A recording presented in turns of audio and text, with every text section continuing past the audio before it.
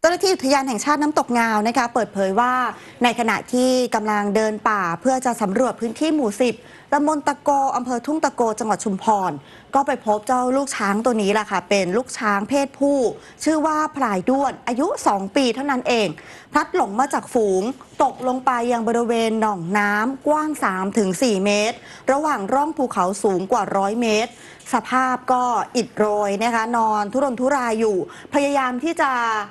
ดันตัวเองลุกขึ้นแต่ว่าลุกไม่ขึ้น เจ้าหน้าที่ก็เลยแจ้งให้กับนายสมเจตจันทนา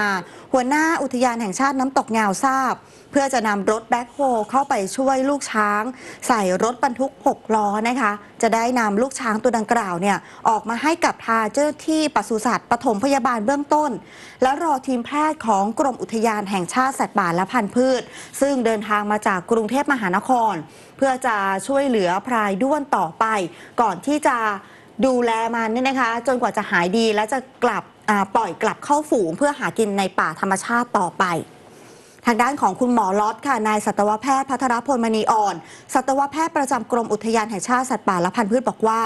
ในพื้นที่ดังกล่าวมีประวัติลูกช้าง ตกจากหน้าผามาแล้วหลายตัว เพราะว่าเป็นพื้นที่สูงชัน ช่วงหน้าฝนเนี่ยทางจะค่อนข้างลื่นนะคะ รวมทั้งเจ้าช้าง เจ้าลูกช้างตัวนี้มีลักษณะที่ไม่ปกติมาตั้งแต่เกิดก็คืองวงเนี่ยด้วนประคับประคองตนเองก็ลำบาก เบื้องต้นสัตวแพทย์ในพื้นที่แจ้งว่าได้ใช้เข็มเนี่ยทดลองจิ้ม ขาทั้งสองข้างของลูกช้างตัวนี้ พบว่า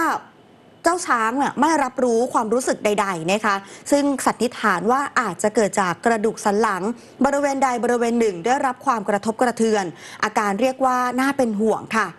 ซึ่งกรณีของพรายด้วนเนี่ยถ้ากระดูกสันหลังเคลื่อน หรือว่ามีเลือดข้างอาจจะต้องผ่าตัดนะคะ ฉีดยาเข้าไขสันหลัง หรือกระตุ้นด้วยไฟฟ้าค่ะ